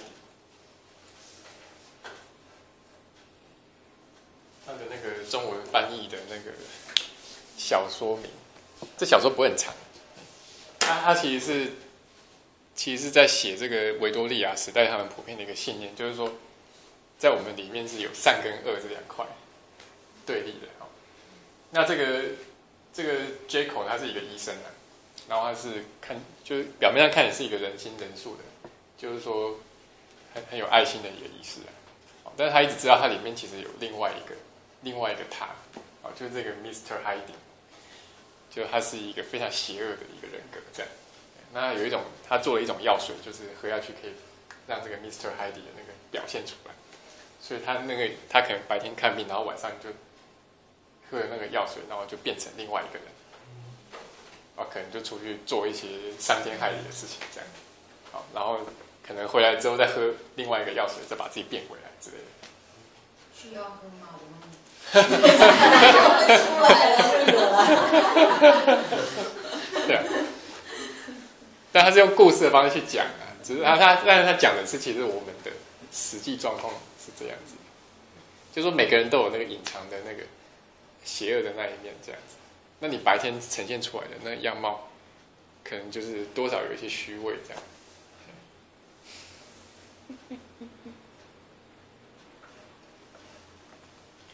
你看字根就知道嘛，这个 hide 就是英文的那个 hide 嘛，H I D E 啊，隐藏的意思啊，对不对？所以他他对他替这个主角取名字还是有特别意思。所以他们说，那个如果是精神病的话，你一直用药物去压制他，其实你反而把他的那个想，就是他已经本来就是不被承认的东西，你又硬要再把它压下去，其实最后他会没有出没有出口，他反而更严重。表面上你可能药物是压下去。对啊，要把它打昏，不会做乱就好。对啊，所以对啊，所以有一个部分，就是说，比如说智商有效的原因，可能就是说，我们引导他把那个内在的黑暗。不过现在就很难，你知道吗？因为那种，那我们在在那个整个在发作的时候哈，根本没有办法跟他讲。对啊，对，就就只能把他打昏而已。一开始先把他打昏，然后再来让他对。让他能够慢慢去看自己内在的那个，可是他们很不愿意，他们的防卫非常强。对，不管就是因为这样子，所以他就他都会有一套说辞出来，然后都会符合他原来的故事。其实他的故事是历久不变，对，很难摧毁。所以有时候像那个，其实那个许天胜医生，他接他对这个精神疾病的这个治疗。我觉得他还是有他的那个独到的一面，然后比如说他可能就会让让那个诶精神疾病的人，他让他觉得说，嗯，这个没什么大不了，你有的那些你只是演给我看，我也我跟你一样，我跟你一样的疯狂啊，那他可能就会觉得比较安心，我不需要隐藏，可能就是要有一个情境，让他愿意去看到自己的隐藏的那一个黑黑暗面。没有啊，他其实都是活生生的给你看，他他他演出来都是那个我们会隐藏的那个部分，然后他会很接近。我的意思是说，当他当他在稍微稍微疗愈的那个过程当中，也许他可以用这种方式让他知道说，其实你你一直想要，别人一直在告诉你说你那个是不对的这个的部分，其实也没什么大不了。那比如说，你刚刚讲到说他活生生在演给你看的时候，其实有时候反过来讲，你不是去加重他的罪恶感，他不会有罪恶感，他就说我就是某某什么蒋蒋经国的什么人的什么这样的，我就然后你你跟他说是吗？怎么可能？怎么？他就他就说就是这样，就是非常坚信，就是会他会有一些妄想，嗯，对，他是不会的，因为你说了什么。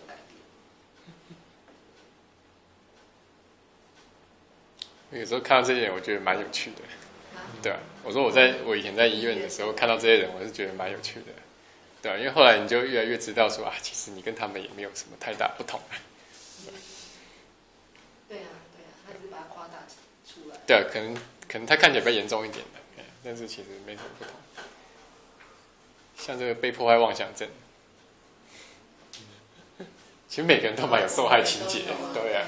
而且你真的去看自己的受害情节，你会发现很深呢。有时候一个一个情节很多年，对啊。尤其是你可能跟手足或者父母亲之间那种受害情节那种纠结，有时候很久啊。所以你去指责说那些精神病人，其实怎么讲？不是啊，但知道他，但我们听他的故事是，我们会觉得有问题，夸大了。对。可是重点是说，他会把那个东西当真，然后他又会去做一些，比如说，他就认为人家害他，所以他就去烧人家房子之类的。对。对，所以就不得不把他关起来。对。不然他在外面很危害呀。对。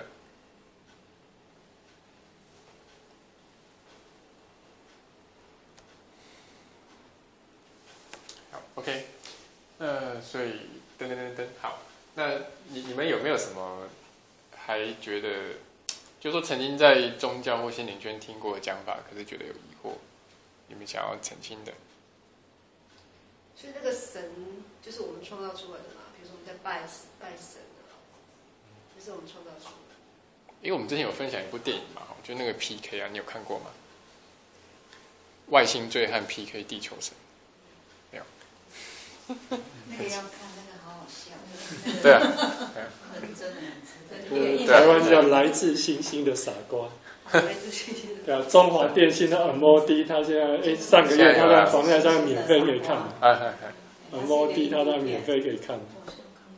对对。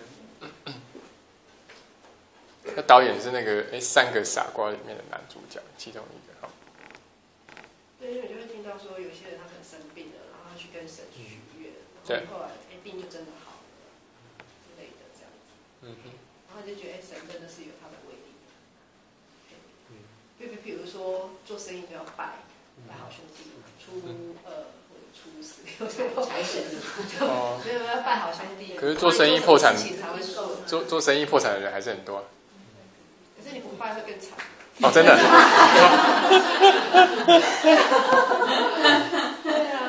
哎，你看，你看这个，这这个思维就很奇怪哈。你你去看医生，医生开药给你吃，你好了。那请问是他的药让你好的吗？不知道，当然是啊。啊，不是我，对啊，就说是吃那个中药就好了一个月啊，我也觉得是医生的药让我好的，因为就不不知道啊。可是我不知道为什么我会突然好，就吃了他药就突然。不确定啊，搞不好你没有吃也会好。可是我那时候真的发作的非常的严重，然后严重到我就觉得，哎，我不得不看西医，我又看了西医又看中医，然后就在那个同时的时候，我看了那个中医，吃了他的药，马上嗯，然后好了一个月。不然我之前是已经就觉得说完蛋了，这样，已经走投无路了。我讲的事情就是说，其实有在生病里面好的人里面呢，有超过三分之一是自己好的，只有不到三分之二是你吃的那个药让你改善。那当然也有可能有倒过来的状况，啊，虽然说这样讲，好像搬砖头砸自己的脚，不过总之也可能有倒过来的状况，就是假使你没有吃那个药的话，你会好的更快，这个就叫医疗伤害，对不对？啊，所以这几种状况都是有的。那医生有没有办法？当然医生都会宣称的，因为尤其是中医，他一定会宣称是他开药让你好的，但是不好意思，没有这种回事，哎，因为。每个人的状况都是不同的，那你到底是自己好的还是吃那个药好的？不好意思，没有人知道，连医生都不知道啊。对啊，马上好。那后来又发作，我又去吃了他的药，是第一天真的又完全好了，就是第二天你自己就有一些状况，所以就对药就变得无效。所以你看，你去找外面的神嘛，这个神其实是一个广义，不是只有那个庙里拜的那个神，而是说你去找外面的救赎，找外面的偶像。包括药物这些东西，然后来拯救你的时候，最后你会发现效果都是有限的。那但很多时候，你期待说它可以拯救你，结果反而它是反效果，这个也不少。拯救是希吧，是心灵要拯救。所以经过这次生病的过程，你就看到很多嘛。其实我在读奇迹课程的时候，有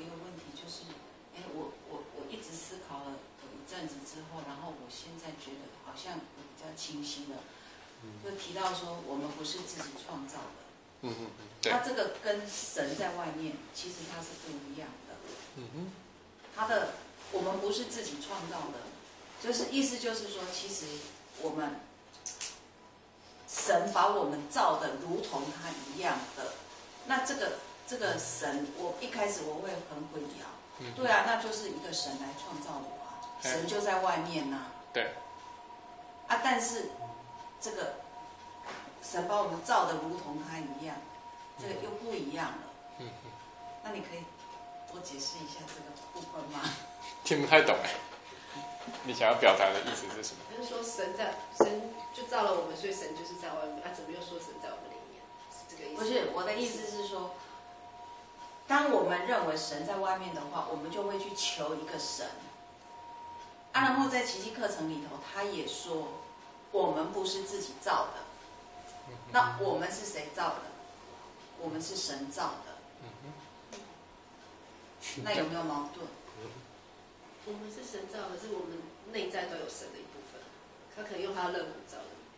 对，后来我不是，后来我我的理解是说，对，是我们真的不需要那么辛苦的扛我们自己的创造，我们其实就可以交托，因为那个神把我们造的如同他一样。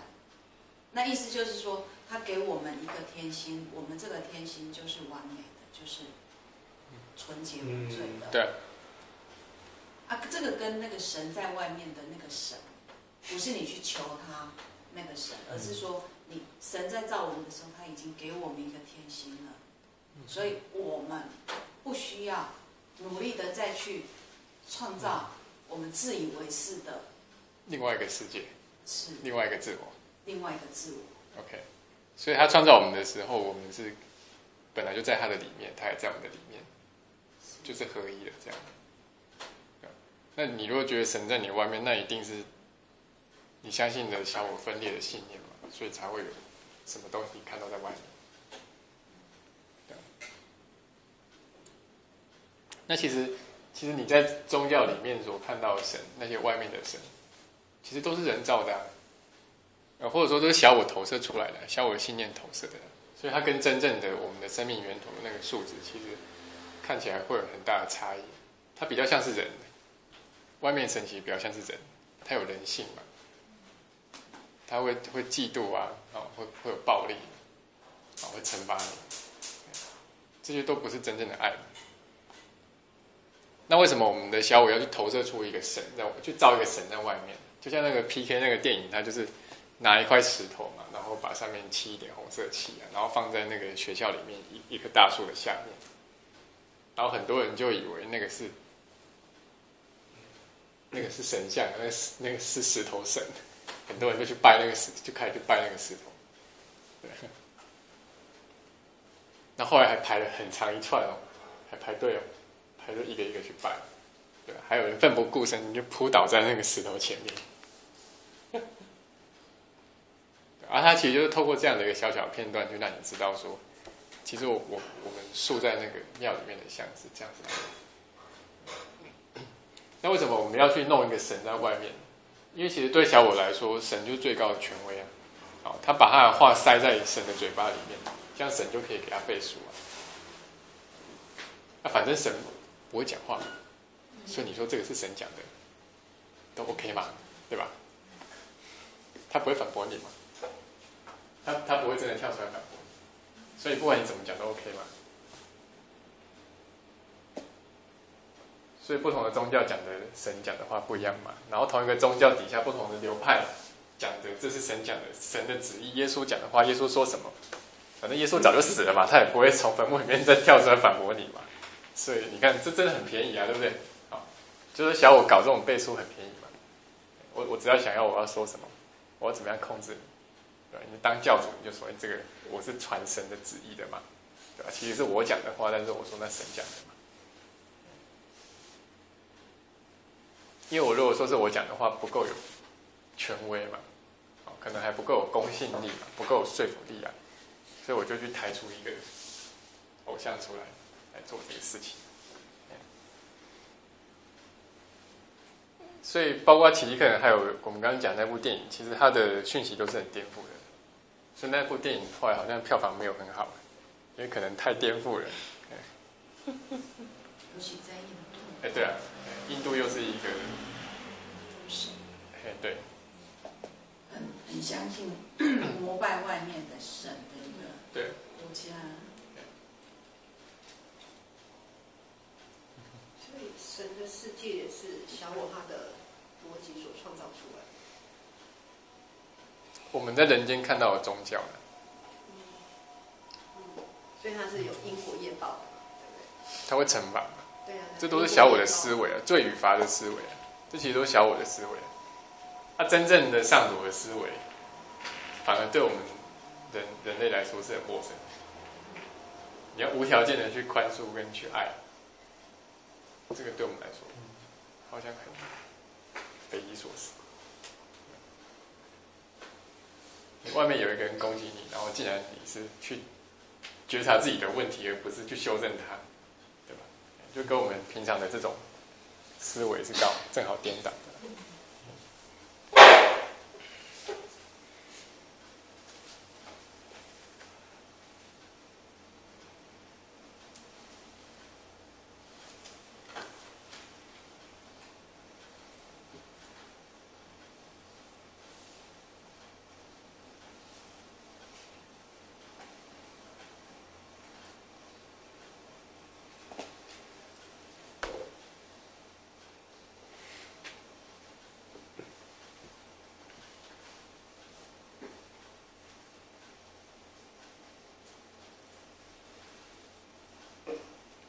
OK，哎，所以刚晚年问的这个问题，到底有没有回答到？我自己都搞不太清楚。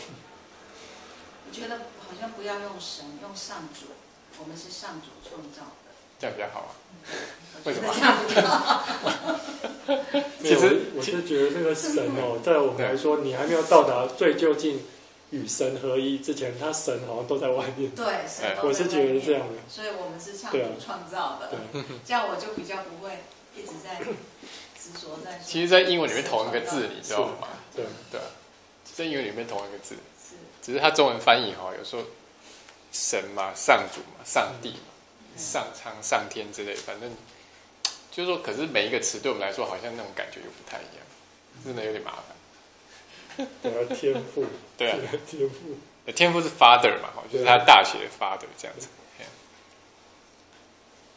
所以，所以那个那个西方的基督教嘛，对啊，他也是说，嗯，都是神造的啊，所以那个神，哎，他也会审判啊，他也会惩罚啊。对啊，不问题是他讲的神跟我们讲的神根本是不同的。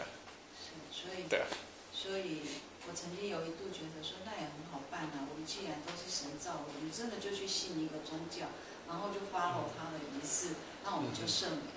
对啊，就赦免很简单呐、就赦免，就被赦免。好像也没这么简单呢。对啊，因为在在基督教里面还有所谓预选说啊，哦，我不知道你们听过，就是至少卡文教派的，他有所谓预选说啊，就是说你你到底能不能得救，那个名名名单在神那边呢，他不给你知道，你知道？也并不是说你做很多好事就会得救嘞，没没有嘞，他是有选选民哦，就是某些人会得救，某些人不会，并不是说好像你你对啊，你很很有慈善的心就就会得，不一定。喜好啊，喜好是什么标准？对啊，啊，那当然那个名单是你拿不到的，对吧？所以没有人知道你会得救。虽然说大家在办丧事的时候，基本上都会大家都会很虚假去同意说啊，这个人就是盟主宠烧嘛，他就上了天堂嘛。啊，天知道，怎么可能所有人都上天堂，对吧？是啊，所以你刚刚讲到办丧事，其实丧事又有又是另外一个，嗯，很多仪式的一个。对啊，对啊。其实仪式这个东西也是一个很很混淆的。为什么我们宗教里面这么多仪式？它用意到底是什么？它真的有需要吗？那而且当你还不是很清楚的时候，你会觉得没有照这个仪式，你心中不安会被会被惩罚，会有不安。对。那死亡在我们这个社会一向就是很忌讳的。嗯。那什么冲冲掉啊，刷掉啊。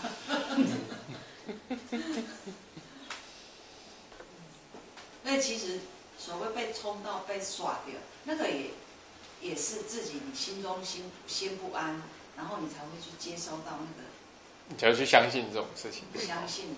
那其实你说仪式，就是其实个里面有一个蛮好的一种分辨方式的，我觉得用在生活上也很好用，就是形式跟内涵的区别。好，然后。因为因为小我是一直往外面去，他会一直去找形式的东西，然后那个内涵不见了，对啊。比如说你买名牌的东西的时候，很多时候你花很多钱去买那个 logo 本身，就是那个包包的做工其实跟不是那种名牌的牌子是一样的，或者至少接近或类似啦，不管它的做工还是设计还是那个品质，可它价格可能差一截。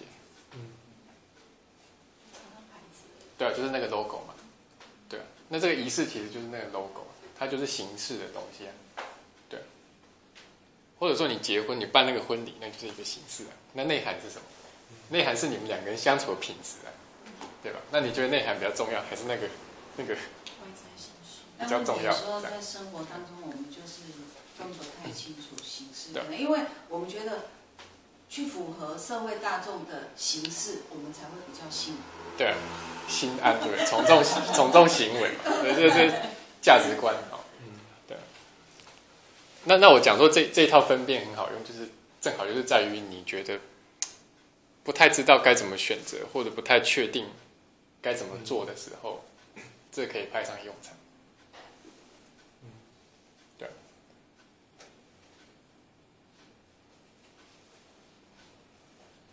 对啊，就是我们都想幸福平安嘛。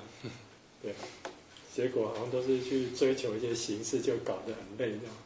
对，对，会搞得很辛苦这样。那弄弄得很复杂。需要有一个，嗯，有一个比较强的信念，否则当别人一讲的时候，你自以为说我追求的是内涵，可是别人一讲你的时候，你就发现说你动摇了，你好像变不安了。对所以，但事实上，那个别人也是有你的，对吧？所以，所以他对，所以他他的。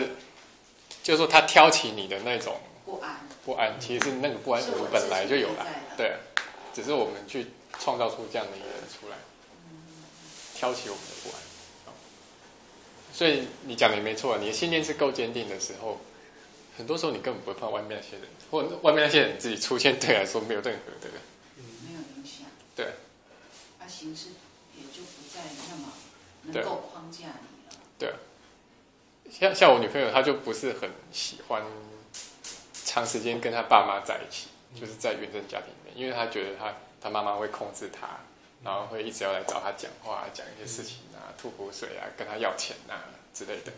对，那我就不会，我觉得住在家里很好。对，因为我根本不鸟我妈，不是，啊，就是说，对啊，就是讲的比较有趣一点，就是这样。就就是说，不是不是只有坚定，不是这个家庭或者这个妈妈怎么样子，对了，是你，而是说你你内在有力量的时候，你不你不会去害怕说别人好像要来要来侵犯这样，对吧？那这个附身的问题其实也是一样的，啊，你的内在力量够的时候，根本不会有附身的问题出现。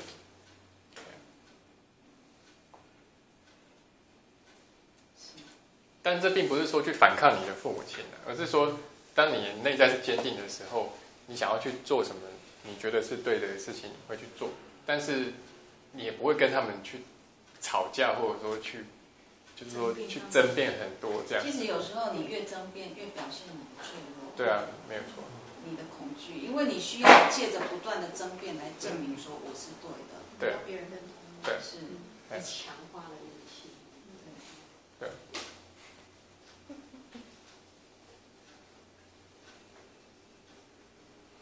OK，在我们下课之前，你们有没有什么余下的问题想要提出来？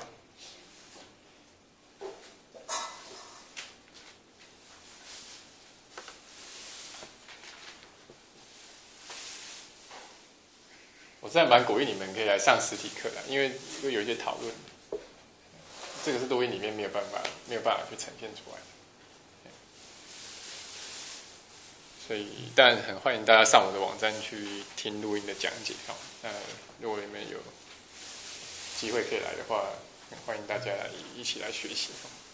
好，那反正我们之后如果有还有那个主题式课程的话，会会再通知大家这样。好，好。